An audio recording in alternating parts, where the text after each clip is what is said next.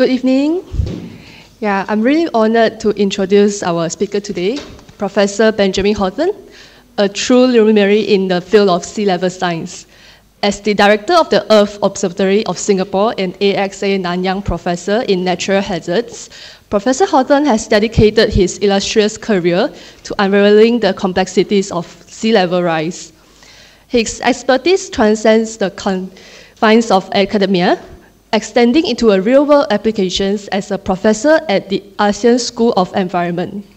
Professor Horton has been at the forefront of global initiatives, most notably leading the COP26 report on managing disaster risk from natural hazards in ASEAN. But what truly sets Professor Horton apart is his unwavering commitment to the cause. His groundbreaking research has earned recognitions from the highest levels, even being cited by former President Obama in his 2015 State of the Union address. Today, we are very fortunate to have Professor Horton here, revealing the challenges ahead and the urgent need for collective action. So, ladies and gentlemen, please join me in giving a warm and enthusiastic welcome to Professor Benjamin Horton. Professor, please. Okay, good afternoon, everyone. Um, my name's Ben Horton. I'm director of the Earth Observatory of Singapore here at NTU. The Earth Observatory of Singapore is a world class research centre and it quite simply saves lives. So I was sat at the front. What was I doing at the front? I was looking at our response to the tragic events in Morocco. So we heard about the earthquake that occurred on Friday night. So the World Food program, the United Nations contacts EOS and they ask EOS to produce the disaster maps that the aid agencies will use to save people. That's what EOS does. And I don't think many people really know that at NTU, that we have a team of people, young, Singaporeans generally in that team. It's a team of eight people. Uh, six of them are Singaporeans. They work 24 7 when a disaster happens, and the pressure on their job blows my mind because if they get their maps wrong, then the aid agencies don't go to a particular house that has been flattened where people are desperate for aid. But that's what we do. That's what we're trying to do right now.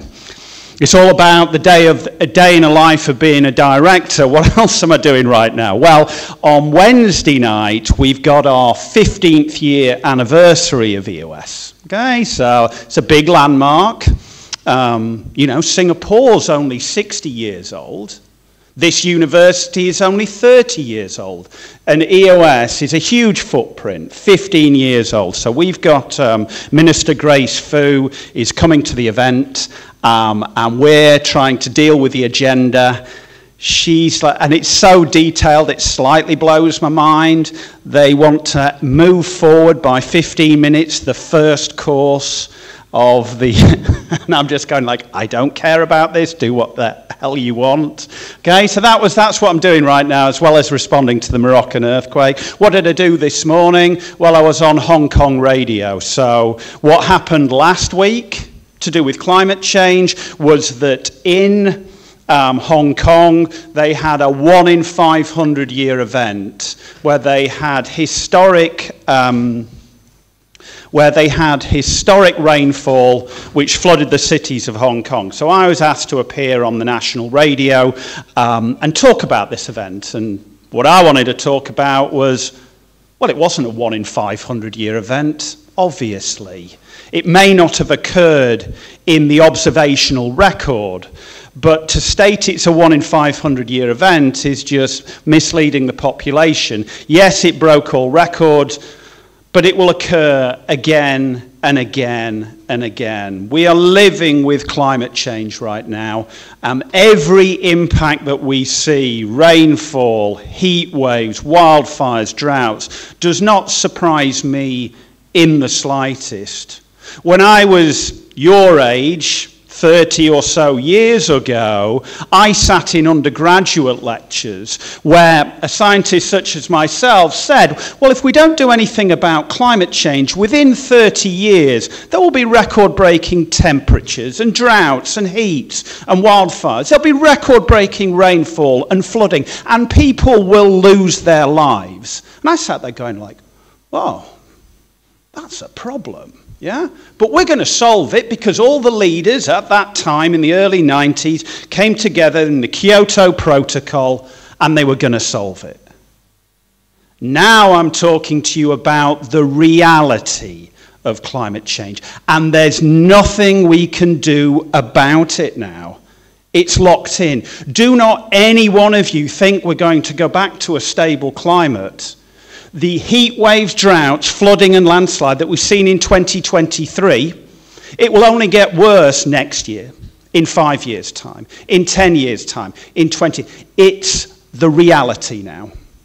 And what, okay, so the events don't surprise me, but the lack of resilience blows my mind. It doesn't matter whether you're in a developed or a developing country, we cannot handle Mother Earth. You imagine being in a family in Hawaii. You've got a raging wildfire at your back, and you've got ocean waves crashing on a cliff-line structure of wave heights of 5 to 10 meters. And because those wildfires are so bad, you jump off into the water with your family. That was your choice because the Hawaiian state was not prepared for wildfires that every scientist could predict. It's not good, guys. It's really not. You're going to have to live through this. I'm going to have to live through this. Climate change isn't about future generations, it's about you and what's going to happen to you. Here in Singapore, okay, so I didn't really know what I was going to talk about today in the slightest. Okay? I have some slides, but then I just always just stand up and I sort of like get on a soapbox on whatever's in the back of my mind. Okay? So, back in 2019, I wrote an article in the Straits Times stating that record temperatures would be broken in Singapore the next time there's an El Nino. Now, I'm not some soothsayer, I can't predict very much. You know, I'm a massive Manchester United fan. Maybe I can predict that they're not going to win the league this year. They're, not going to win the league in five years' time. Climate change is incredibly complex, but at certain cases it's really simple. So I made that projection in 19, or uh, made that statement in the Straits Times in 2019, and then I repeated it earlier this year. How can I be so sure that we will break temperatures, which we did on May the 12th, 2023? We had record breaking temperatures in Singapore. Was that publicised in the media? To some degree. But at that point, we had a bigger disaster occurring. We could not get Taylor Swift tickets. That was the big headline in social media. We can't get hold of Taylor Swift tickets. Whereas it really should have been that on May the 12th, 2023, was the warmest temperature, just looking at your demographics, that any of you have ever experienced in Singapore for the whole of your natural life. What I would say is it's going to be one of your coolest days when you move into the future. So, I, why did I predict that? Well, as I said, I'm no rocket scientist here. I'm quite good at my job. I'm not a bad scientist, very good at administration. I'm actually quite organized. I think that's what sets me apart. Um, I care about people. Um, you know, I have a tattoo on my back which represents equality. It's my big driving factor in life. Um, but climate change sometimes isn't complicated. Because when you think about climate change and heat stress, what you need to know is just some simple things. What's the warmest time of the day? Okay? Everyone in here knows that, well, it's not 6 a.m., it's not 6 p.m., it's sometime between around midday and 4 p.m. So that's the first thing you work out. Then you have to think about, well, for Singapore, what's the warmest time of the year? So if you look through temperature records, it relates to monsoon variability. So the warmest time in the year is between around April and June. Okay, so we know that. So, right, okay, sometime between April and June in the mid afternoon, you're going to get really hot temperatures. Then you need to know what's the warmest time in a decade.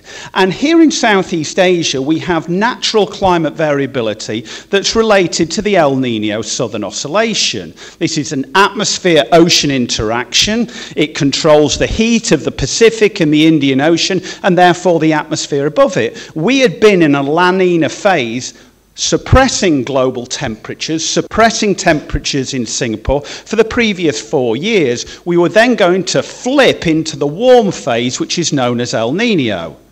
Scientists said it was going to happen this year, and that was always my bigger worry. So you've got the warmest times in the day, the warmest times in the year, and the warmest times in the decade. And then they all overline the baseline, which is climate change. The last major El Nino that we had here in Singapore and Southeast Asia was in 1982. It caused amazing wildfires, droughts, heat waves, decimated rice production, hindered water availability, particularly in developing nations. Between 1982 and 2023, we have had 40 years of climate change. We have more carbon dioxide in our atmosphere now than we've had for three million years. The temperatures that we have in 2023 perhaps have not been seen for around 120,000 years, when the Earth was slightly warmer than today. So that's my big worry. 1982 was devastating here in Southeast Asia. Now you've got 40 years of climate change. Singapore's temperature has risen about 2 to 3 degrees C in those 40 years. So you superimpose that on a major El Nino, you superimpose that on monsoon variability, you superimpose that on the warmest time of the day, and this time next year, people are going to die in Singapore. Simple as that. That's climate change. That's the reality. That's what you have to live with. And we have to hope that I'm wrong. We really have to hope that I'm completely wrong, that El Nino doesn't materialize. It's a small blip. It's not a major El Nino. I'm exceedingly worried because the temperature rises in the Pacific Ocean have never been seen before. The rate of rise that we see in the Pacific right now has never been seen before. We've been collecting measurements for 50 or so years, since the year of the ocean in 1956. Okay? So we've been collecting these measurements and we've never seen that rate of warming. So, that then, again, you don't need to be a rocket scientist. If the Pacific's warming up that much, you get worried that you're going to have the next major El Nino. But I hope I'm wrong. I really do, because the unfortunate thing is that if we do have a major El Nino, it will be the elderly, the young, the infirm that will suffer, those who are less fortunate than ourselves.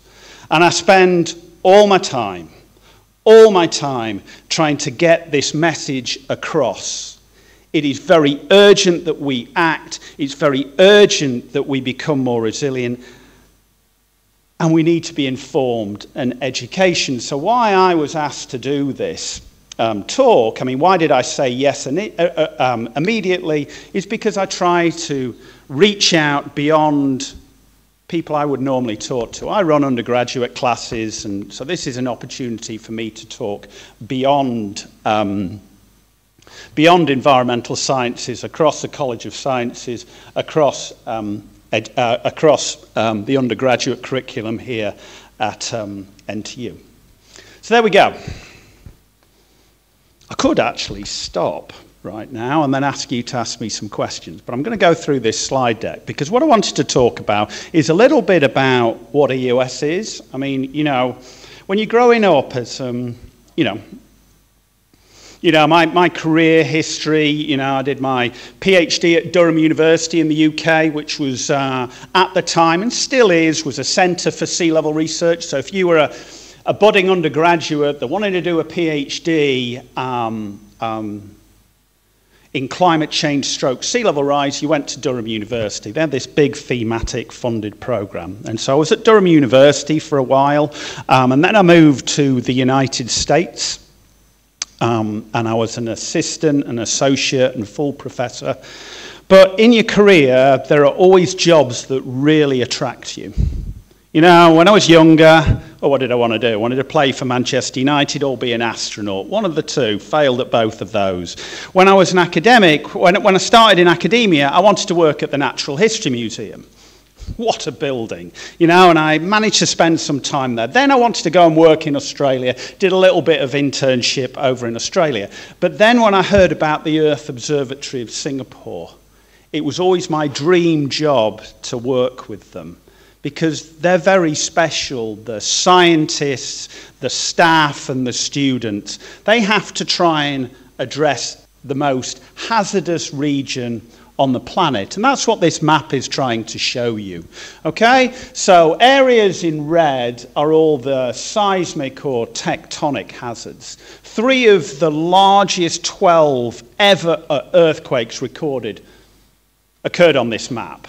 So the Moroccan event that's just happened, about magnitude 6.8, in 2004, the Sumatran megathrust ruptured with a magnitude around 9.3, 9.4, a huge event that um, devastated South and Southeast Asia, killing hundreds of thousands of people.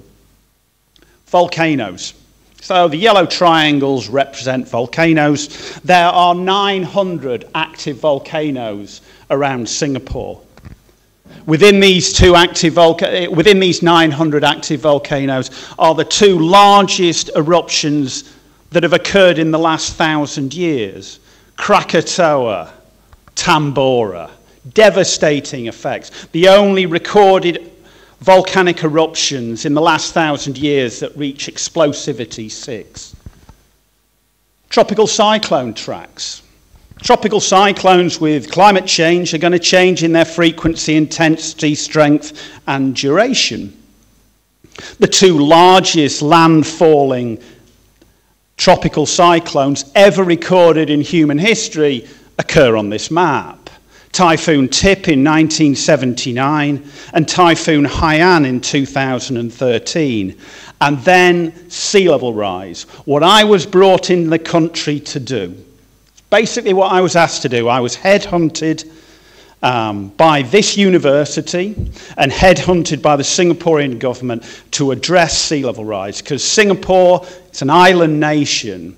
Only a third of Singapore is above is one meter above the highest tides and in southeast asia it doesn't get any better all the areas in blue are these low elevation coastal zones it's anticipated by the end of this century that 1 billion people will be influenced by sea level rise 70% of them are on this map so when you come and work at eos you're trying to save lives because they desperately need it. And we at EOS know we have a responsibility to do this. We work for NTU, one of the world's leading universities. I always wonder whether you get that. It's not surprising if you don't, but when you've become as mature as I have and been around countless universities, you realize how special NTU is. It's a top 20 university. It has a huge responsibility to take that scientific knowledge and save people's lives. And I'm director of EOS, and I couldn't be more proud.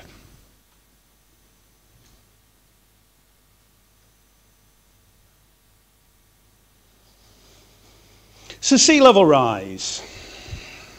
Sea level rise has an existential threat. So, in the introduction, it was stated that, uh, you know, President Obama cited me. He did. He cited me in, in the State of the Union address in 2015. So, that's, you know, a president in the United States gives one major speech to Congress per year. It's his State of the Union. He delivered it in 2015, and he was talking about climate change and instead of citing NASA or NOAA, he cited our research group and something that we came up with where we stated that sea level rise was rising faster in the 20th century at any time in the previous 2,000 years. So it's quite a groundbreaking discovery. When you're thinking about climate change, it's all about whether we're living in an unusual time. And we can see that in temperature quite easily, but no one could decipher it to do with sea level? Are the rates that we record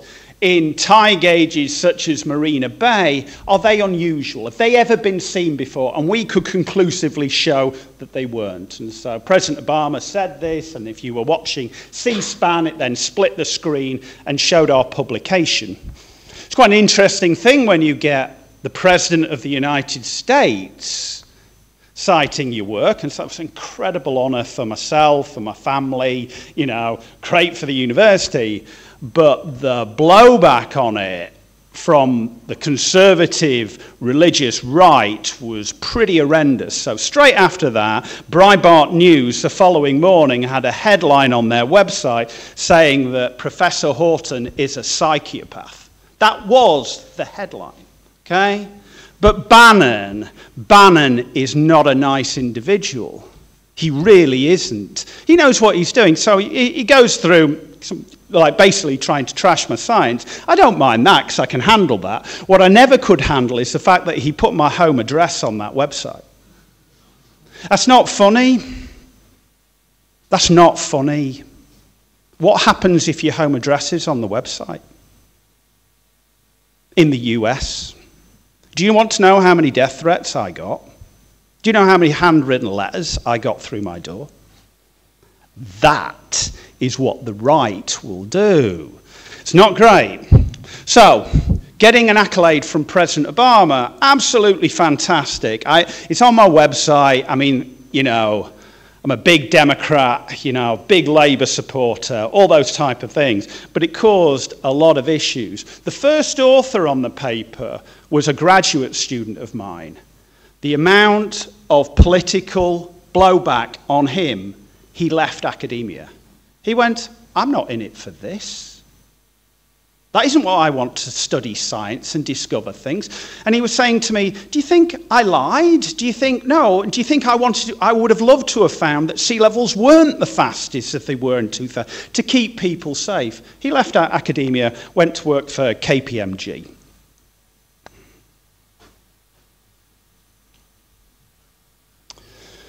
This is a big problem. Crikey. Again, not, not very obvious. You warm up global temperatures, you dry out soil. You put more water vapor in the atmosphere, you get more thunderstorms and lightning attacks. Okay? Put those two together, the world is going to burn. European Union in 2023 had the largest ever recorded fire in Greece, the European bloc. Canada had such extensive wildfires that the cities of New York, DC, Baltimore, and Detroit had the worst air pollution on the entire planet. And we've already, already discussed um, We've already discussed Hawaii. Again, what did EOS do to do with all of this? So, the Hawaiian wildfires. Who was tasked with mapping the fires in Hawaii? Was it the US government and FEMA? Or was it EOS at NTU? It was the latter. That's what we do. We try to keep people safe. What are we doing? Well, one of the big worries here in Singapore, I mean, um, is the last time we had an El Nino in Singapore, it's one of the things that I've always been worried about. It was a minor El Nino. It was in 2015 and 16, and we had horrendous haze here in this country because the drying of the forest floor and the ignition, either anthropogenically by humans or naturally through lightning, caused a lot of forest fires in the palm oil areas of Sumatra. The prevailing wind takes that particulate matter here into Singapore. So, it, again, look at an analogy of the past we can be very, very concerned that there are going to be further forest fires. And we've already been tasked by the Ministry of Defence to monitor forest fires in Sumatra. Some of them are beginning to start. We're trying to provide them in sort of real time information. This isn't just EOS, it also involves um, NUS. Um, they have a satellite remote sensing group known as CRISP. So it's all about giving the information to local authorities so they can try suppress the burns.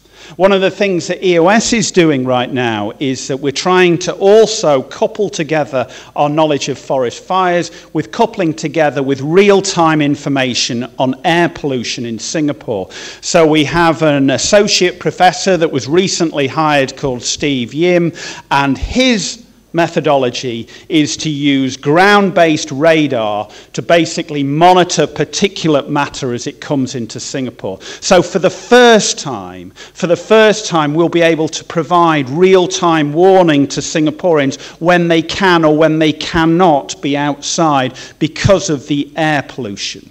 Again, that's what we do.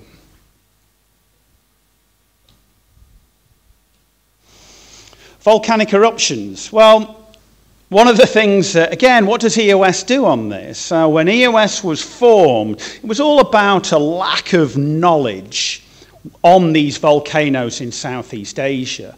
They have incredible potential at influencing lives locally and regionally. So, EOS holds the global database for volcanic eruptions. So every eruption anywhere in the world comes into EOS, we process that data, and then we let the scientific community use it. Obviously, our scientists have the first attempt at this.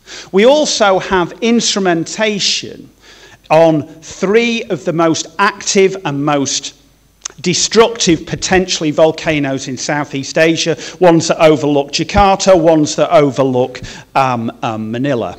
We then also have a variety of monitoring stations in eight different countries around Southeast Asia, which monitor how the Earth moves to do with earthquakes, any changes in gas content to do with volcanoes, and also measure, if they're near the oceans, the ocean surface. This imagery, this is the Turkey Syria earthquake. I like, well, I don't like saying this at all, but I'm just going to repeat myself. Who was tasked to map this disaster? Was it NASA? Was it the European Space Agency? Was it the Japanese Space Agency? Or was it EOS? So EOS mapped the Syria Turkey earthquake. Again, tasked by the United Nations, we produced these maps. We were the first um, scientific body to produce a map. It then was provided to all the aid agencies to go to the buildings that are destroyed and not go to the buildings that are, that are stood still. Just imagine that responsibility. Talk about making a difference. That's what some of the young scientists do at the Earth Observatory.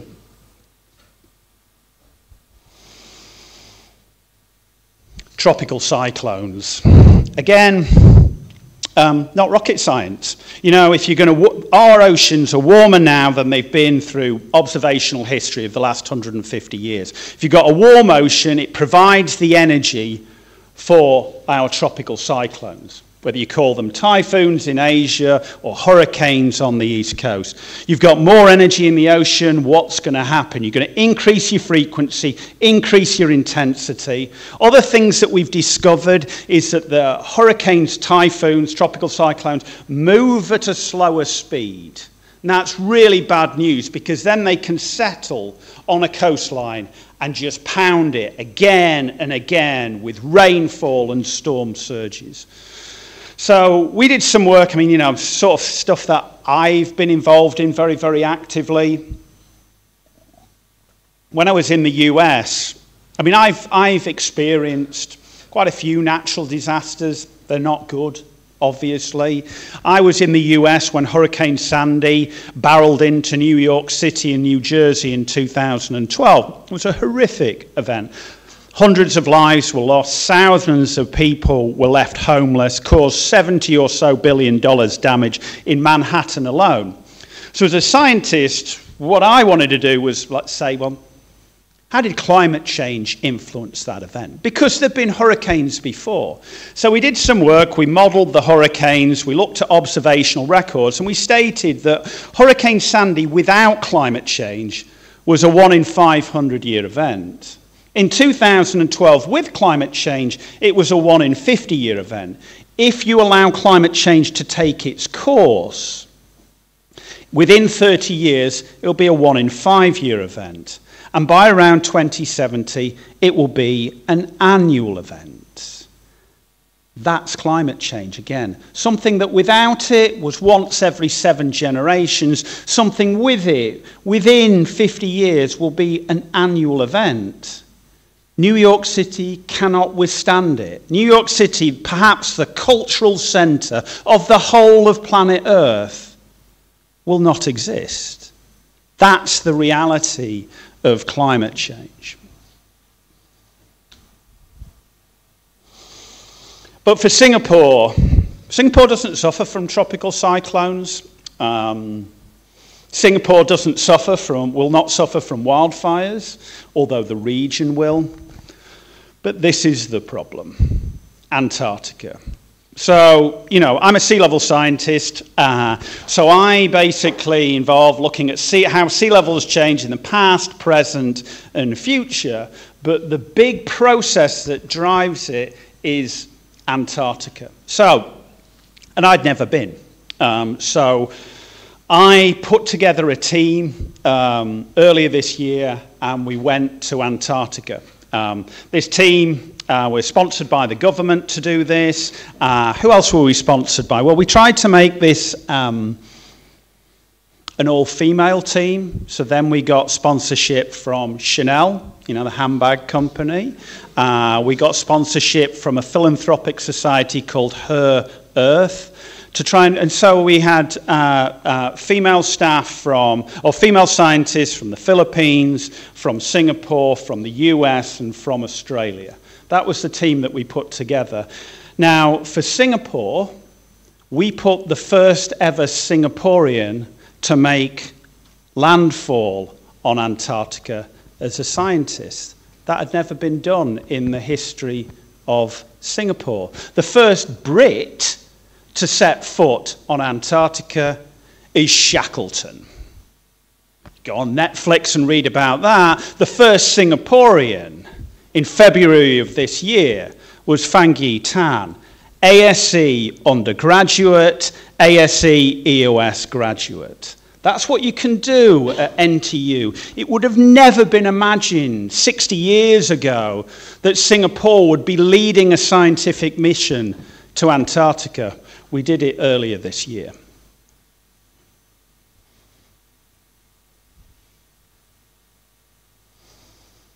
So EOS is broken up into these series of um, knowledge clusters and themes. We work very heavily here in Singapore as well. I mean, so we stretch our, our research expertise from Antarctica to the Arctic, looking at earthquakes and volcanoes. You know, we're funded by the government. So we do work on air quality, water quality here in Singapore. We try to look for solutions or risks, geothermal energy, nature-based solutions. Try to keep this, this, this country safe and sustainable. We're 15 years old. But we've done a lot of firsts. We had, um, so the Asian School of the Environment was first of all created as earth science. I always think EOS is, like, I always, like, my predecessor, who was the first director of EOS, Kerry Sieh, had great vision, as did the government. Um, when I met him, I met the Deputy Prime Minister um, a couple of weeks ago, and he said to me, wasn't it a good idea to start EOS all those years ago? Because it's so needed right now. Because when EOS was started, your high school education, so a lot of you here, your high school education was because of EOS. So any, your curriculum was completely changed by EOS. So for the first time, high school kids here in Singapore were taught about how the earth works, were taught about sustainability, taught about climate change, talked about earthquakes and volcanoes and subduction zones. That's what we did because we saw that we had to develop the high school educations to then create a new body of people that would want to do undergraduate work in how the earth works. So we created in 2010 Earth Sciences, which then became the Asian School of the Environment. We had our first cohort come in in 2014 and they graduated in 17, 18 and 19. So you know, they're all these first. So, for the first time here in Singapore, you now have a body of students that are graduating. I know you, a lot of you are taking cross curriculum in sustainability, but there are a group of students that spend their four years studying the earth, and that wasn't there before EOS started.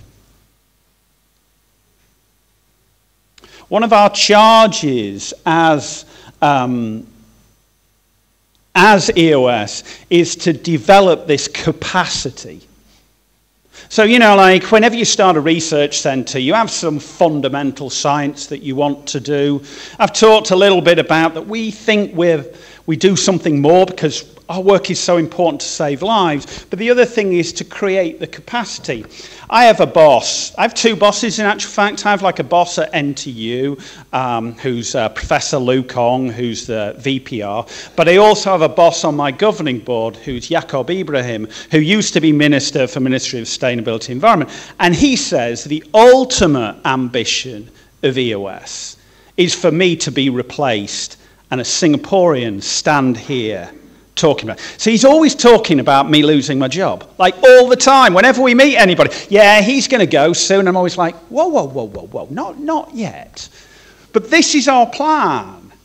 The first ever graduate student in earth and climate science in Singapore was in 2010. And so our numbers are increasing. We've got, we're starting a new program where we've got 29 PhD students studying climate science. That this number is going to skyrocket. We try and get the best around the world, and we're able to, which really helps with diversity and inclusivity here in Singapore.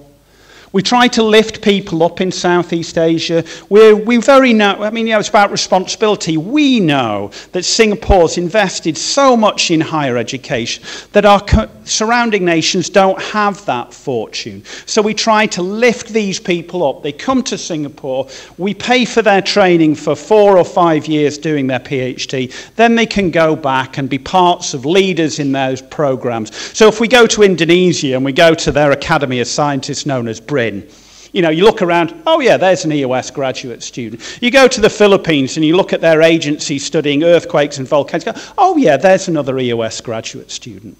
We will have a long lasting impact on the region. And then obviously here in Singapore, we want to create the next director, but more importantly, we want our graduate students to fill in gaps that exist um, So we have a variety of different funding programs. How long do I have left? Is someone going to tell me? How many? 15. 15. All right, okay. So we have a variety of different funding programs here um, at EOS. So we're always, so we're like, um, we've been funded traditionally by the government um, sort of what's called block funding, where they basically say, right, well, what's, you, what, what's your expenses this year? And then we'll say, right, well, we've got this number of administrators, graduate students, postdocs, and they will give us an amount of money to keep us operational. The other thing that we do is try to get external funding from the Ministry of Education so we have a variety of programs. We have Invest. So this is what is known as an MOE Tier 3B. It's around a $20 million program. We are currently trying to find graduate students and postdocs to work on this. And really, it's about looking at big data, using AI. Can we make breakthroughs in understanding where the next large earthquake or volcano is going to occur? How large is it going to be? And when will it likely occur? So, looking at recurrence intervals. This is the new program. It's going to be officially announced on Wednesday.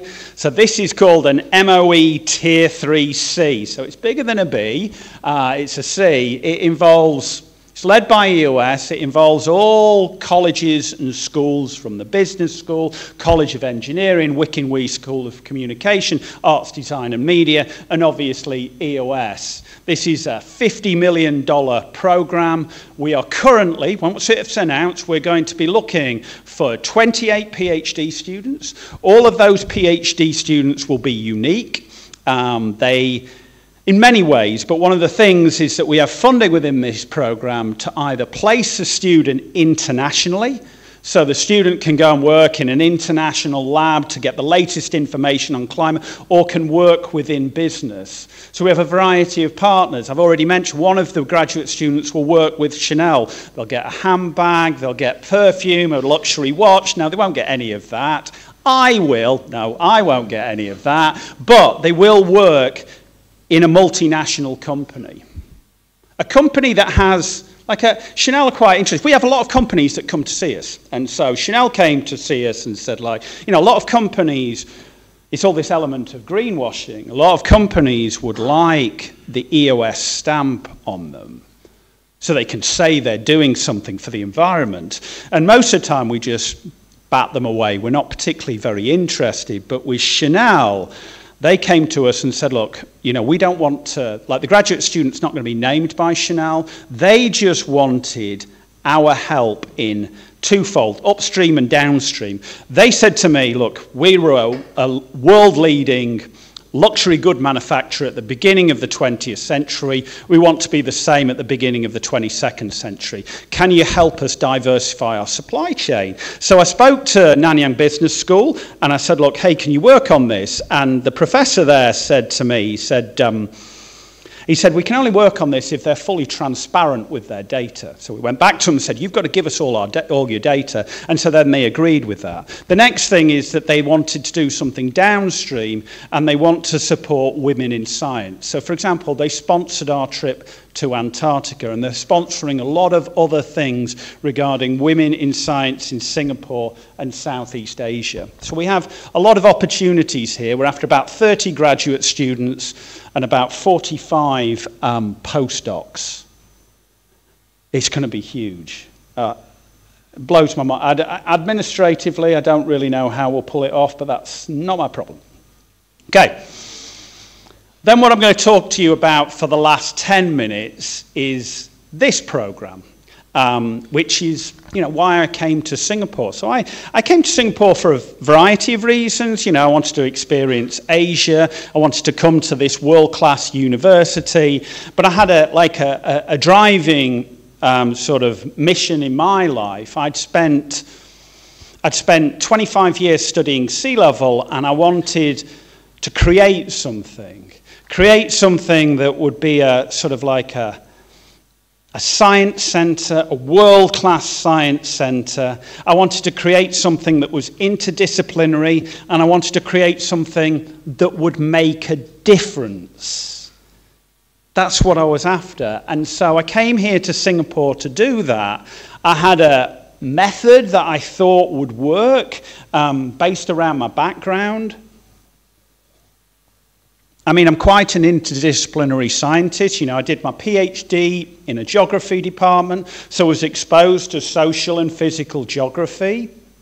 I know geography is very strong here in Singapore, and it is in the United Kingdom. I went to the US, worked in an earth science department and an environmental science department, moved to Rutgers University, um, worked in a marine science department, came back, came here to Singapore, was chair of the Asian School of the Environment. So I'm quite, I'm quite multi, multidisciplinary, and Sea Level has that element of trying to understand it. And I wanted to try and make a difference. So when I came here, in contrast to the US, where there's still the denial of climate change, there is a lack of urgency in Singapore, and those still exist. Things are changing, but you know, like on the Republican debate a few weeks ago, climate change was brought up, and that's a win. Previous Republican debates, climate change would have never been brought up. But still, when it was brought up, people denied it, quoted as being a hoax. Here in Singapore, there's the acceptance of science. There's the, you know, there is the, um, the knowledge that experts are good for a nation. You know, Gove in the UK, who was Deputy Prime Minister, said you need less experts. He's Deputy Prime Minister of the United Kingdom on public TV saying that experts are the problem. Here, with experts are valued, but there's a lack of urgency, and there still is. I still haven't achieved my mission of actually making a difference. I've had an amazing scientific career. I mean, I really have. You know, PhD students who write great papers, bringing in research grants, you know, being a full professor at 40, running EOS, but on making a difference and policy, I am an abject failure. Really am. I worked in North Carolina a lot of the time in the US. By the time I'd stopped working there, they banned sea level rise. In all their um, state legislature, from where you can build and where you can't, they banned it. They had a better plan before I started working there. Hurricane Sandy hits the United States. I get to meet Chris Christie, who's the governor of New Jersey, and I say, Look, here's this plan. You can make this area more sustainable, save people's lives. And he threw me out of his office within about 10 minutes. Said, I can't do this because it has climate change, for some unknown reason, doesn't influence Republicans. You know, when an iceberg melts, it melts. Doesn't matter whether you're Democrat or Republican. It melts and sea level rises. In Singapore, we've made some changes. The Prime Minister had a National Day rally um, where he mentioned sea level rise, but you've just had an election. You've just had an election for um, your president. Was climate change discussed once? Was it discussed once? No. So I failed. I've been here five and a half years. I've done so many Straits Times editorials, so much time on the TV. I'm quite a passionate speaker. I was at the Arts and Science on Saturday again, trying to talk about climate change. I've failed. So I came here to do this program you know, it involves all these professors, we join together, but are we going to make the difference? PUB have just started a centre of excellence. You may have read about it in the news. A centre of excellence on um, coastal adaptation. Okay? Fantastic. I spoke about this on Hong Kong radio, saying, like, this is great that they're doing that. But it's a centre of excellence. I know what it's like to run a centre of excellence. You do things that are groundbreaking. Okay? You make the difference. You're the ones who are mapping the Moroccan earthquake. Will that area, will the Centre of Excellence from PB? I don't know how they're going to handle. In engineering, in response to sea level rise, how do you handle uncertainty? I don't know how you handle it. There are engineers in there. I saw the list of students. There are engineers here. How do you handle uncertainty? And uncertainty that could be classified as ambiguity, or in our terms, is handled as deep uncertainty. We do not know the probability distribution of it. We just know that there are processes that have occurred in the past that cause dramatic changes in sea level, but we can't predict them. How do you handle that? I don't know. One of my graduate students went to the opening event because I can see her, and I wanted Christabel to ask at that opening event, how do you handle deep uncertainty? Because that's where Singapore can get ahead or cannot. Um, what do we do in this program? And then I'm going to finish. What have we done so far? I mean, some of the stuff. I mean, you know, like, so climate change can be a little bit doom and gloom, obviously. But, you know, people who know me, I think they quite like to hang out with me. I mean, I see a couple of them out there, and we're like tomorrow Tomorrow night we're going playing football and then we'll have some drinks afterwards. They do actually invite me along to these events. I don't sit there and preach doom and gloom about climate change because although I have great despair at what's happening to the planet, I'm also surrounded by all these amazing young minds. Cheryl Tay, 20, in her mid 20s, Singaporean produce something that no one on planet Earth had ever done. Okay, so when sea level rise, sea level rise is um, basically got three sides of a triangle to solve. One side is how much the ice sheets are melting. And there are global organizations led by NSF, um, previously the Russian academies, that are trying to understand what Antarctica and Greenland are doing. The second side of the triangle are the oceans. How much are they warming up? Where, they, where is it spatially variable? And there are international organizations that do this, headed by the US, NOAA, the Europeans, etc. But regarding the third side, which is whether the land is sinking or uplifting, which magnifies the flooding, it wasn't the USGS, it wasn't NASA, it wasn't NOAA, it wasn't the Europeans, it was Cheryl Tay. Okay? A woman who walks down the corridor at EOS, very unassuming, but an absolute genius. She used INSAR satellites that went over the 50 largest cities every six days for six years. And you could identify which cities were sinking and by their velocity. Never been done before. These, the, the spatial resolution is amazing. You then can provide a map to a city and say, this area is sinking, this area isn't.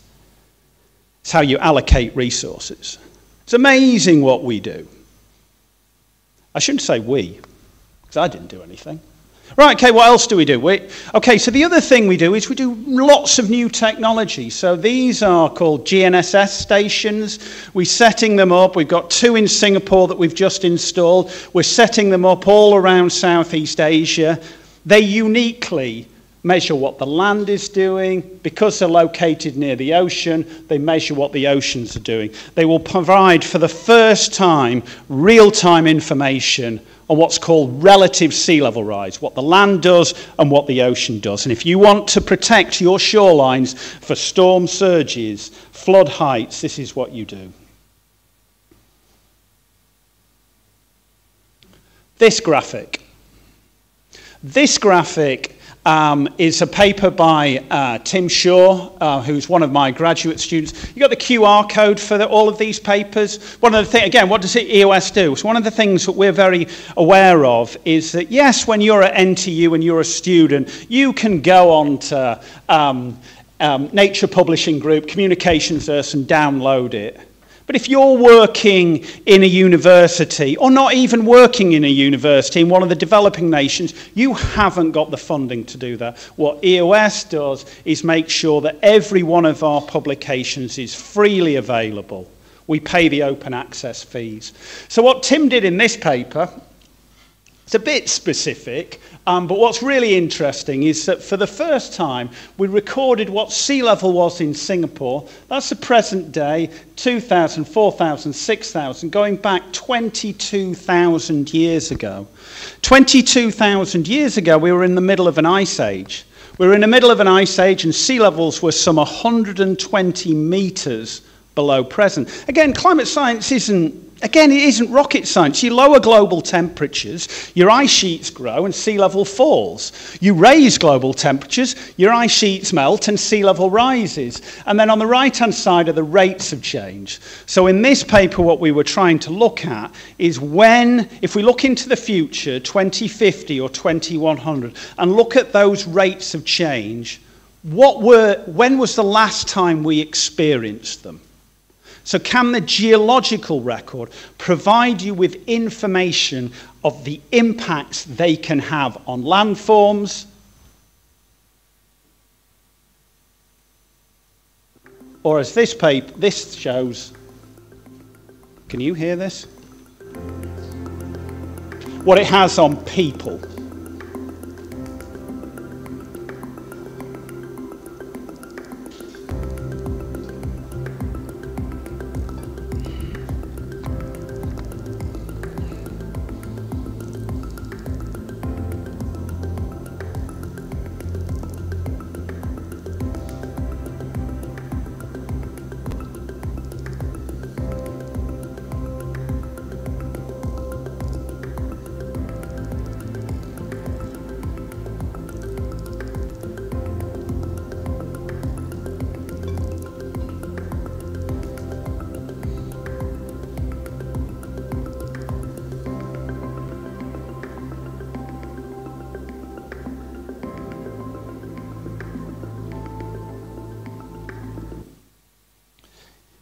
You you, this university is amazing.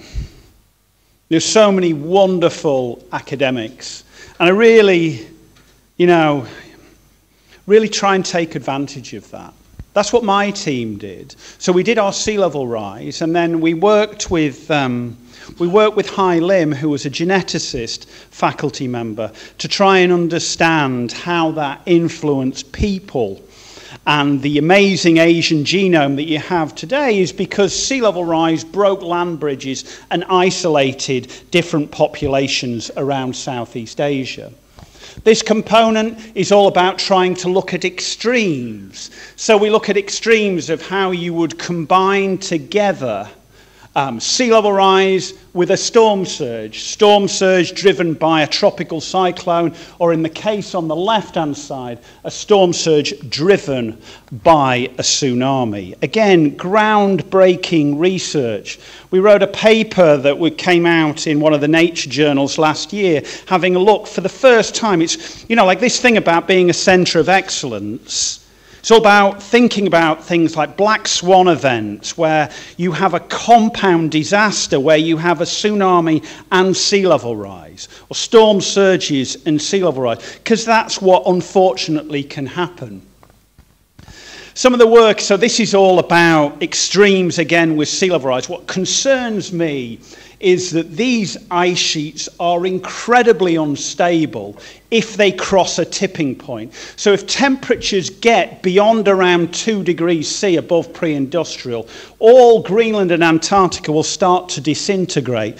And it's very hard. These are these deep uncertainties, very, very hard to model.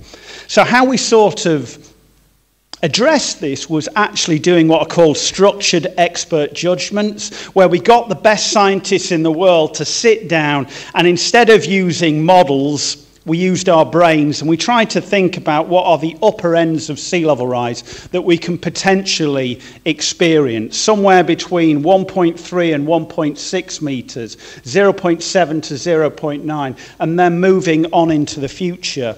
Sea level rise, unfortunately, is locked in.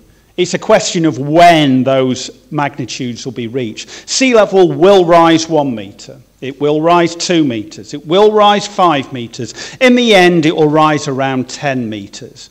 The question is when. Because we've set these wheels in motion. Will these catastrophic sea level rise occur this century, which we will not be able to adapt to, just simply can't? Or will they occur in centuries to come, where you hope you have a better understanding of how to work with nature? And I'll keep going for another two minutes. This is the type of work that we really are invested in in EOS, which is really trying to apply our science. So this work led by David Lallemant is to work with the Asian Development Bank to try and have a look at the damages to coastal assets when a tropical cyclone occurs. The real damages, what occurs instantaneously and what will occur for decades to come. We try to think about nature-based solutions. So we had a paper that came out in um, came out in you shouldn't say in press. Uh, we had it came out in Nature last week. Um, it's not a good paper to read. Um, I wouldn't suggest it for your bedtime reading. Uh, because it's really concerning. So, here in Singapore, a lot of efforts put into nature based solutions. So, we're thinking about you know, the carbon stored by tropical rainforests, or mangroves, or corals and wetlands. And we're trying to promote the preservation. Um, you know, I was at a Temasek board retreat um, last week um, where Ho Chin, the Prime Minister's wife, is the president, and they're talking about the investment of Tamasek in mangroves and tropical rainforests. As being this golden ticket. And in many cases it is, because if you can promote the preservation of the natural world, it has so many benefits. Mangroves protect the shoreline from erosion, they filter drinking water, they're a biodiversity hotspot, huge impacts on mental health, and importantly, they store carbon. However, they themselves have an ecological niche which is threatened by climate change. And in this paper, we stated that if you got to 7 millimetres per year, we're already at 4 millimetres per year. You cross 7 millimetres per year if you go beyond the tipping point of 2 degrees C. All the mangrove forests and all the coral reefs are extinct. They've got nowhere to go.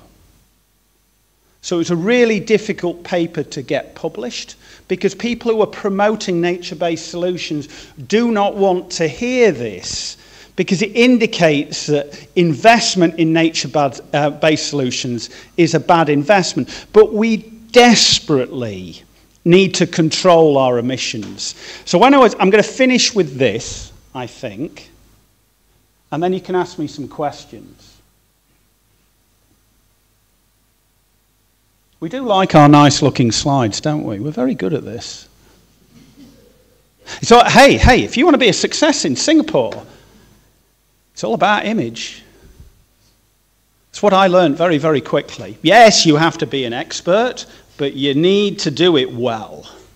You know, if I was ever coaching assistant professors here, you have an amazing opportunity in Singapore because governments will listen to you, the agencies, a lot of the big firms have their corporate regional headquarters here. You have a huge ability to make the distance, but you better have an elevator speech ready.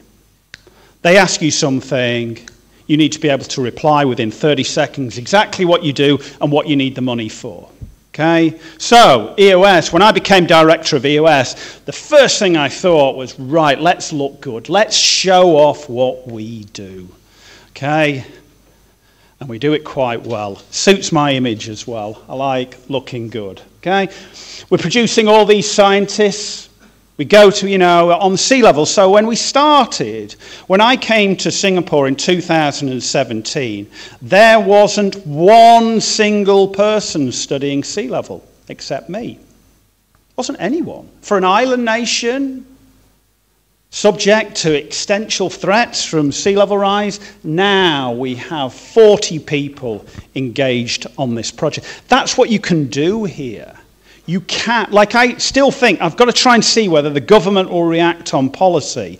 But really, in the scientific community, we went from you know, in 2016 17, if someone said, um, you know, where in Southeast Asia is there any sea level research? They would say that there's none. Now we're one of the global centres. That's what we're able to do.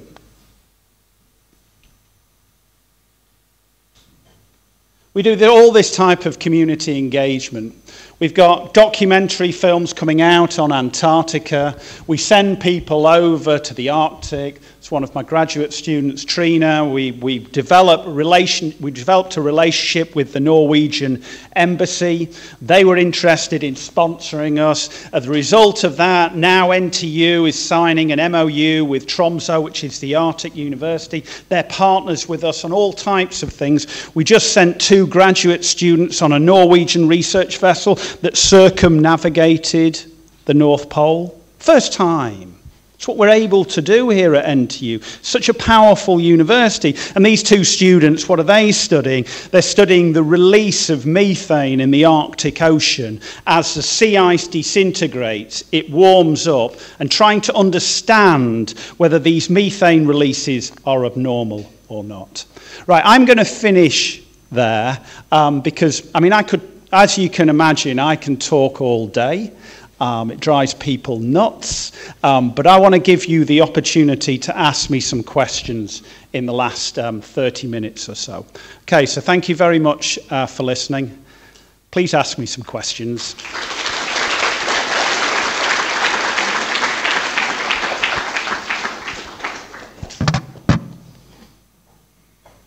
Okay, so we'll take questions from the crowd. And well, we'll go for the first one when you raise your hands. Maybe a first one I was asked um, uh, from the crowd, was um, how do you cope with climate anxiety if you do experience it? But after this talk, I think it's pretty relevant question. Well, climate anxiety, first of all, um, I wish we didn't as society have to deal with this that people are scared about what the environment will do. So when you give giving communication speeches, you can have to stress the urgency, you have to stress the impacts, but you have to give people hope that we can solve this crisis. And so that goes some way to elevating anxiety. Then you realize what works in other environments. It's um, well known that if you, as an individual, do something about the problem, your anxiety is reduced. So there's a classic study in the United States that the anxiety of school children is relieved if they do something about climate. So we took this on board. Again, this is what EOS does. Our Community Engagement Office now works with MOE to try and calculate and lower the carbon footprints in schools. So school children can see that they're making a difference. There are 8 billion people on planet Earth. Every single one of them must become a climate activist. What that means is all personal. But governments predominantly will be too slow to react. Businesses will wait for legislation, regulation, and the market. But individuals, you have huge power and you need to be a climate activist. Every decision you make, you need to think about the environment. That may be very appropriate speaking to, to, to a group of students who've decided to spend their Monday afternoon listening to me. I may be preaching to the converted. But do you understand how urgent this is? We have six years and three months and counting. That's all you have left to solve this problem. Now you're going like, no, no, no, no, no, no, no, no, no. This is a problem for you. No, no, we know about this. So the, we, we live in this fortunate time where policymakers can ask questions and scientists can give you the answer. So, back in 2015 or 16, policymakers wanted to know when we needed to peak our emissions of carbon dioxide, peak them. Scientific community looked at inventories on carbon production and said we needed to peak it by 2030. We go beyond that, we aren't able to recover. We will shoot over the 2 degrees C threshold and we pass all these tipping points. Tipping points where Antarctica dis disintegrates, Greenland disintegrates, permafrost melts. The ocean conveyor that takes heat from the tropics to the poles slows down 99% of coral reefs become extinct. All these horrendous things happen. We've got six years and three months. It's not, it's your generation, it's my generation that needs to solve that. So the question about anxiety is that we can solve it, we have to solve it, you have to become a climate activist. You have to make a difference to your lives then maybe you can start to solve this. But the other thing about anxiety is that that's not my profession. So asking me that question is difficult. I'm a climate scientist. I can tell you how high sea level will be, but I don't actually know how to solve it. But the climate program works with people who understand mental anxiety to existential threats. So we can now start to collaborate to provide a better answer to that question.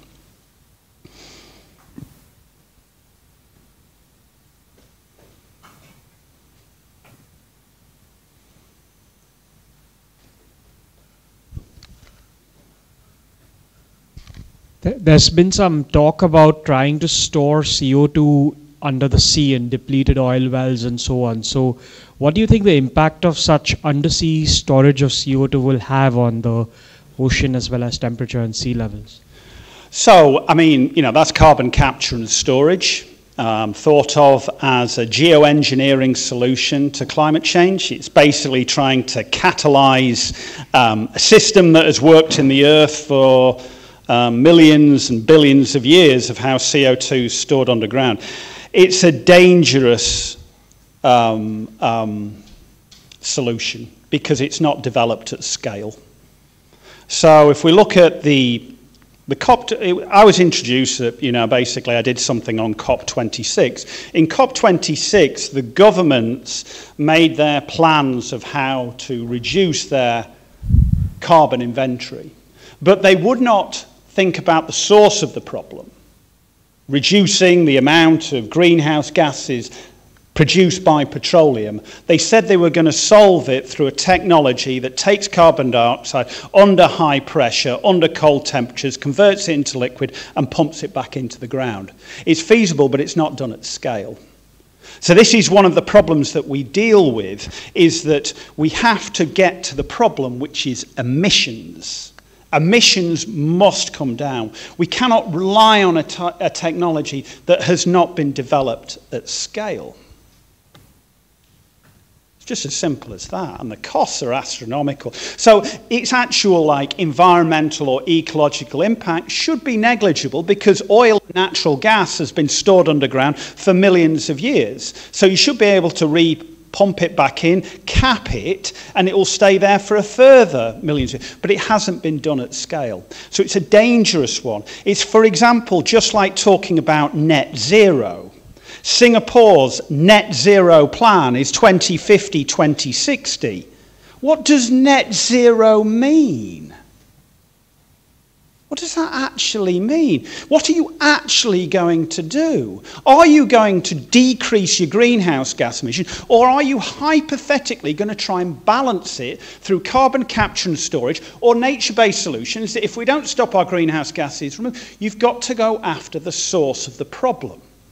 It's very, very simple. We, I mean, I, you know, like oil, natural gas, and coal has been absolutely amazing at providing energy to the earth, perhaps the single greatest product for reducing child mortality, improving GDP. But we have to transition, and we have to transition rapidly.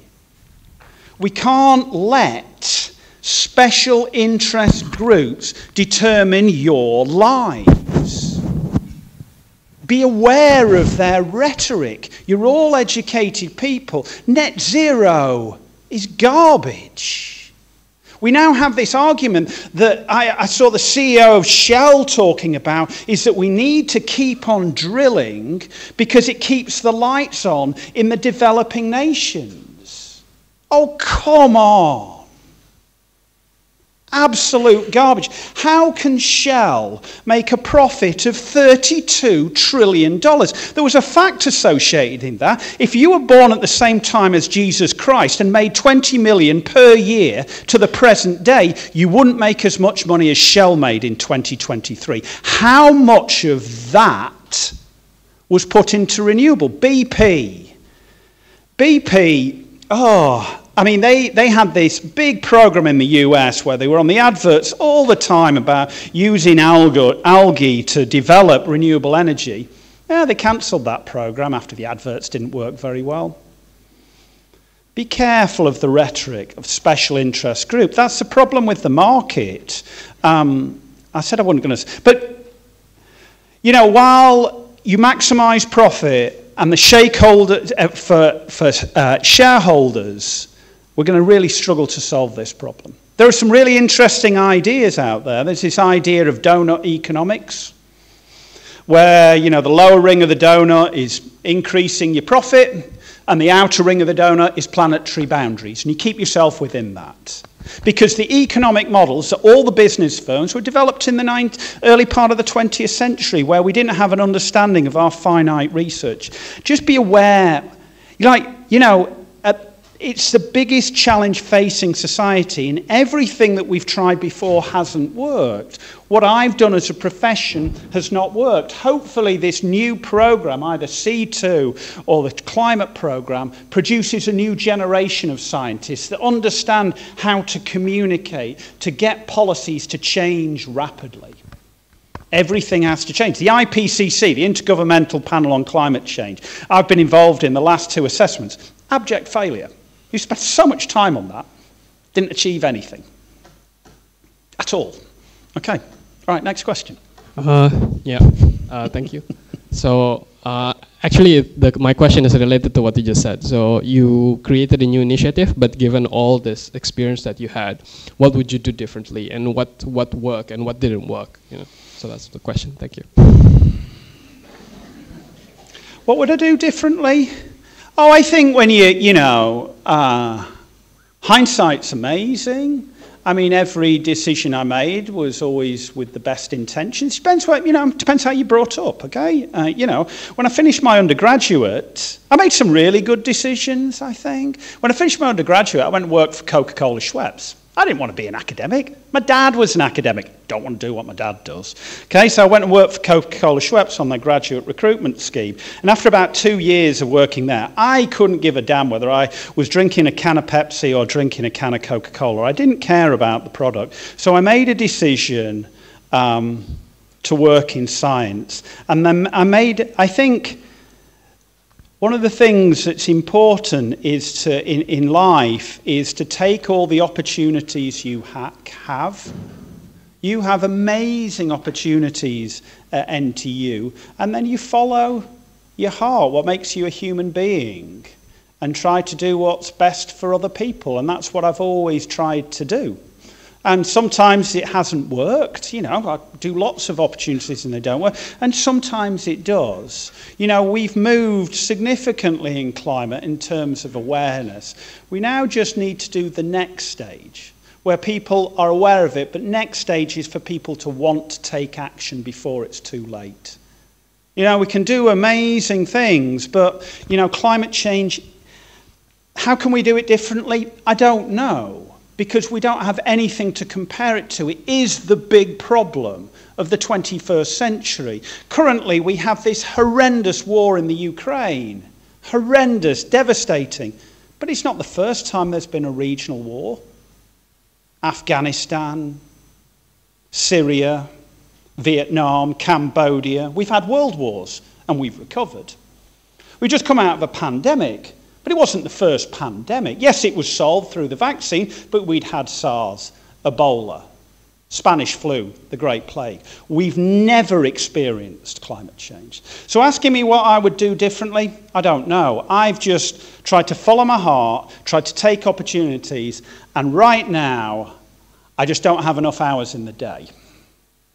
So if I could do differently, I'd get a time machine and try and stop time so I can try and get my message out to more and more people. I think the key, I've been good at it but not good enough, is working with different people. I think that that would be the message that I would suggest to you guys. You know, you're at a, I keep saying it, world class university. Take the advantage of all these different scientists, explore it. And I think that that would be perhaps what I didn't do well enough, is I didn't talk to story. Climate's all about storytelling now. I didn't spend my time enough with social scientists to understand how to tell that story. It's a great question, though. I'm, I'm quite surprised because I'm normally like I've normally heard the questions before. So you know, when I got the carbon capture and storage. No, no offence, but I'd had that before, so I gave a really good answer. Your question I'll think about that, okay? I'll think about that better. Yep. Uh, hi, um, I'm actually a PhD student here, uh, coming from a different discipline. I came in with a very specific concern because I'm from China. Uh, my hometown is Tianjin. You probably realize that name. It's one of uh, uh, the the the city with the fastest sinking rate in this entire world. So uh, I'm, of course, worried about that. so my question would be like, at this current point, is it um, uh, almost like irreversible? Like, uh, is it too late already? Or as a general uh, resident of this such a coastal city, like what would you suggest for us? Well, when you think about sea level rise, there are three solutions. Yeah, one is you stop the water coming in, build sea walls. The other is you live with the water, you allow the water in, you change your landscape. Or three, you relocate. They're just three simple options. And so, if you're provided with the best scientific information of what's happening to any individual city, you then can make a, a, a, choice. We at EOS, we worked with some Fulbright scholars to look at what Singapore could be in the 21st century, looking at this difference between a utopian future and a dystopian future. Singapore, just like your hometown, will be influenced by sea level rise. The question is, is how are we going to live with it? Are we going to create structures here in Singapore that may have analogies with the Marina Bay Barrage here, which is multi purpose. It gives us drinking water, it stops seawater, but it's also a recreational area. People fly kites, people, families spend their time there. In New York City, um, um, I've seen the developments. New York City's Democrat. So they've been investing money in New York City, in Manhattan, and in New Jersey, on on the other side in, in Hoboken, on how they redevelop their waterfronts for the next storm surge. And they're amazing. They're community driven. They have the advantage that water cools an environment. So when they get a heat wave, the idea is that the population will go into these beautiful coastal areas, be surrounded by water and cool. There's recreational areas, eating areas, and it's all part of a coastal defence. You wouldn't know it, but it is. So you can have these beautiful futures, but if we don't solve the problem of greenhouse gases, and we have six years and three months and counting, then you have your dystopian future where everyone will have to relocate. And we all know the problems with human migration and political boundaries and relocation. One of the aspects that David Lallemant's working on at EOS is trying to find tipping points on sea level rise that cause humans to migrate. So you've got this. You solve the problem, you can have gradual sea level rise, it will occur, but you live with the water. Okay. Thank you. Uh, all right, so I'd like to ask a question about this thing that is when you okay so like when there's a volcanic eruption like some particles will help cool the environment. And some have been looking into using this as a means to combat global warming. Like similar to the thing about putting carbon emissions into the oil beds do you think it's very risky? And is this a feasible or great solution to it? Okay, great question. Okay, so I mean, I like thinking about. I always like. I don't ever want to dismiss any um, solution which is based around how the earth works. So carbon capture and storage is based on basically how oil and petroleum form. Nature-based solutions is based upon how nature. Now to do with volcanic eruptions, we know that if there are certain types of volcanic eruptions, they have to occur in the tropics, they have to have certain explosivity to get high into the atmosphere, they cool the climate. Because they inject sulfur dioxide into the upper atmosphere and they, those particles act as a mirror for incoming solar radiation to rebound back into space. And so a classic example is the Mount Pinatubo eruption in the Philippines in 1991. The Mount Pinatubo eruption in 1991 caused a global cooling of around one and a half degrees, but it was short lived. But therefore, there is a possible geoengineering solution where you put sulfur dioxide continuously into the upper atmosphere. That's what's dangerous about it. You can't just do it once, you've got to continuously do this. And does that therefore mean that there's an excuse for fossil fuel companies to continue burning because we're going to in, uh, eject um, sulfur dioxide into the upper atmosphere? When you see proponents of this, they do not know what the ecological impacts are. Anyone who grew up in North America or Northwestern Europe in the 1980s and 1990s talked about acid rain. Put sulfur dioxide in the upper atmosphere, you, if it gets into the lower atmosphere and mixes with water vapor, what do you cause?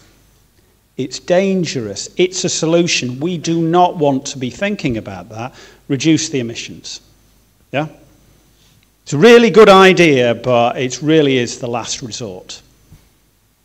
To stop the sun coming into our Earth's surface and then have to do it continuously. You could never stop. Yeah? Uh, hi, Prof. Here, over here. Mm-hmm. Hi. Uh, so first of all, thank you so much for your talk, and thank you for sharing what EOS has been doing, whether it's the research, the scientific research, or your efforts to trying to influence policymakers. So as a, as a concerned citizen myself, um, I don't have much scientific background myself, and I'm not from ASE, and I'm certainly not from the public agencies. So I'm just wondering, what are your suggestions for people like me, what we can do differently on a daily basis to make, trying to make some positive impacts going forward during this journey?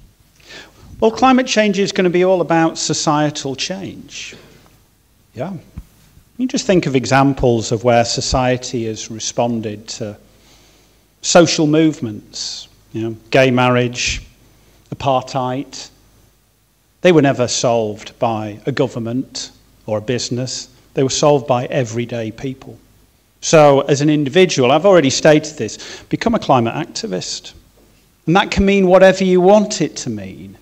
That can mean, oh, well, I'm going to eat vegetarian tomorrow instead of red meat. That's being a climate activist. That means I'm going to take the MRT, not drive.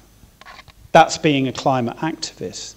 That means chaining yourself to the Ministry of Manpower's gates. Don't do that. You didn't hear that from me. Okay? No, but I mean, it's whatever you want it to be. But the big thing is about education. So you think about what do I do individually?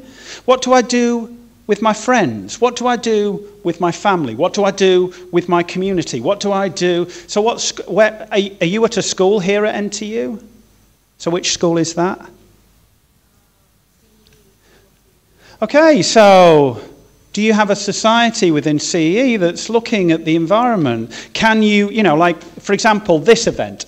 Is this event carbon neutral? Of course it's not.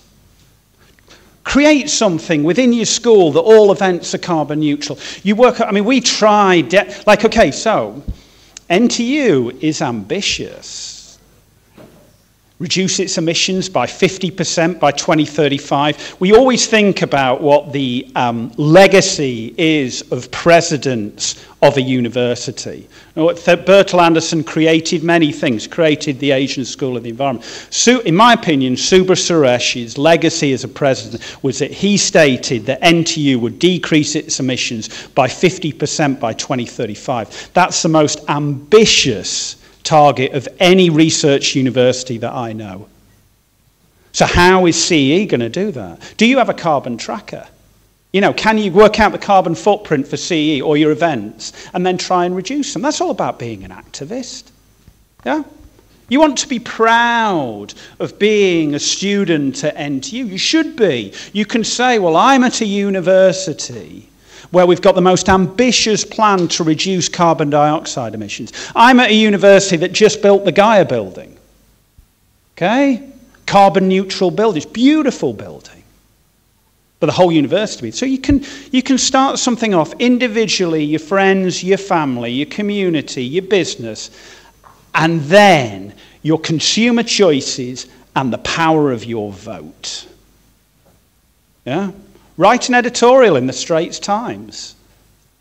You know, you and your friends about how, well, you were really dis- well, you're really disappointed that none so we've got this new prime minister uh, president that everyone really likes. What's his opinion on climate?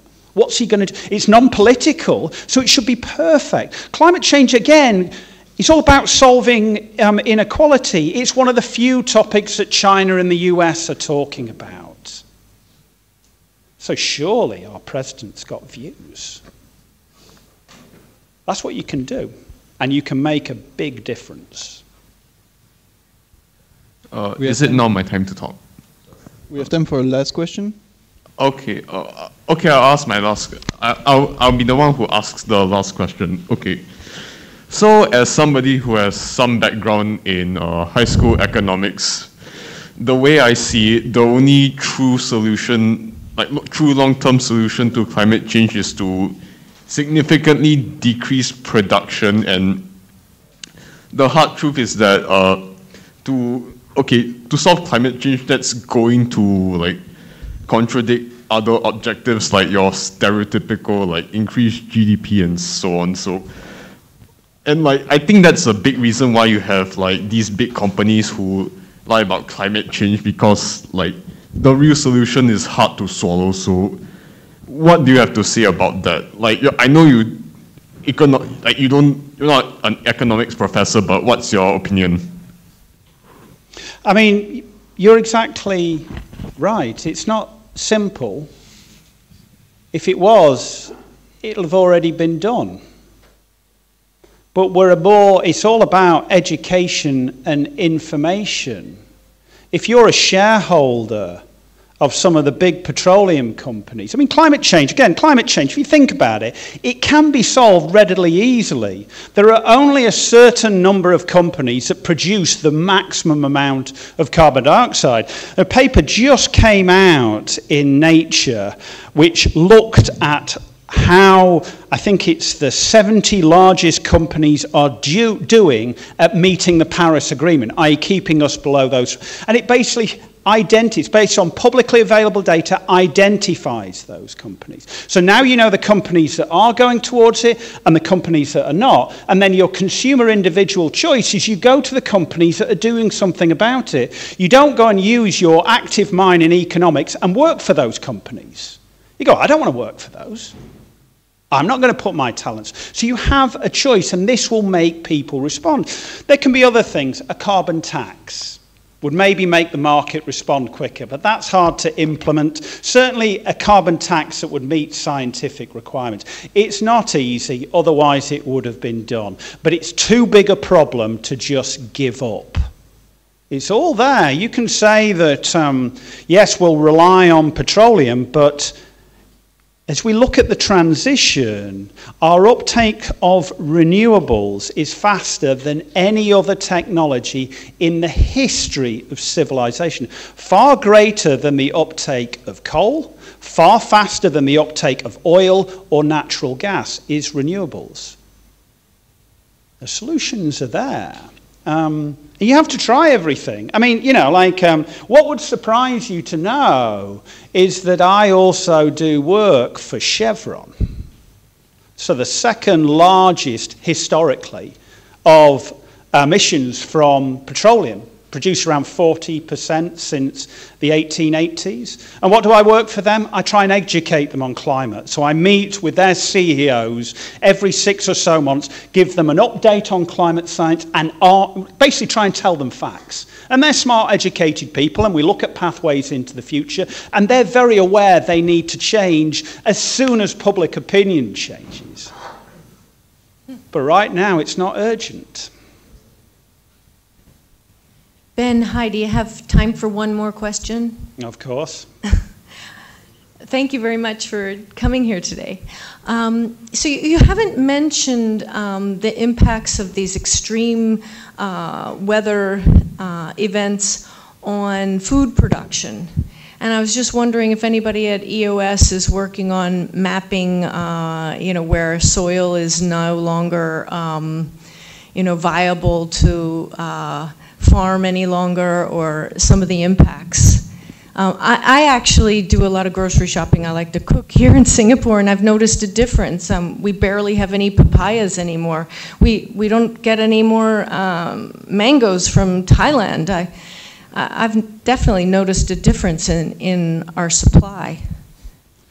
Well, I mean, climate change, I mean, so again, if we think about like solving climate change, um, I talked about that you can look at the biggest producers you can also look at the biggest countries. It's you know, the vast majority, 75% of emissions are within the G7 or the G8. Um, we also know that we're increasingly an urbanized, so to solve climate change, we need to solve what's happening in the cities. What has been overlooked is what happens in the rural communities a lot, looking at those impacts on food production. Um, I wrote, that there was an article in The Guardian last week that I was involved in, where we worked with um, um, The Guardian's um, Southeast Asia, and we did a lot of reporting on changes in rice production in and around Southeast Asia over the last decade there's going to be significant impacts. And that's what I'm worried about this time next year, is that there's going to be large-scale droughts. In that report for COP26, the other thing that we did as EOS is that we calculate the area of Southeast Asia that will be subject to drought by the middle of this century. It's about 60% will be subject to drought in rural areas. That will have significant implications on rice production. So we can again, again, this amazing thing about scientists, we can map the areas that will be influenced by drought. We supply that through the COP26 reports to governments. It's then up to them to try and become more resilient. So they're not surprised when there is a drought because it's coming. So they can think about water resources different strains of rice to try and withstand that. You know, the scientific community on agriculture, I think, in some ways may be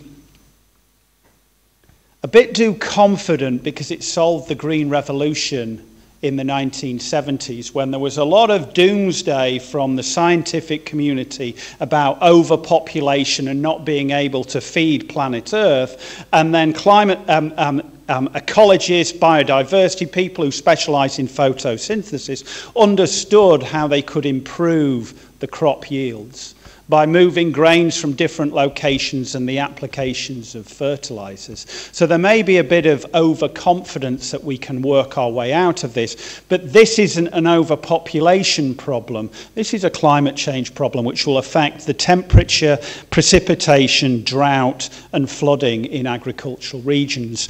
We do have some people who work on that, um, but again, I mean, this is just a limitation. So Singapore has its 30 by 30 policy, but it doesn't think about climate change. We have a big food initiative here at NTU, but there's no element of climate change in that. It's not thought of as a problem. And again, I've, you know, I've only got so many hours in the day, and I can you know, say to people in the food program saying, well, you need to think about this. You know, if we're going to do 30 by 30, again, one of these things about the climate transformation problem, I, like program, which is really unique, for the first time, we're going to try and make the vertical gardens carbon neutral. So we're going to try and promote enhanced rock weathering. These are the type of solutions that are out there. In northwestern Europe, they've realized that you can, again, this is again going back to sort of nature-based solutions that work, that we can try and use basalt um, and certain types of ground out rock on our soils which provide fertilization and draw out carbon from the atmosphere. It's never been applied on rice farming, it's never been applied in a controlled environment to the tropics. We're going to do this in NTU, and it's never been applied on vertical gardening. So we could have a thing in Singapore where we've got 30 by 30, we've got this vertical gardening, we used enhanced rock weathering, and it doesn't cost us any carbon. That's innovation, that's a solution, and that only takes place here at NTU because we're a technological university who sometimes thinks about really big problems. So I like that question because that is a very positive note to finish on.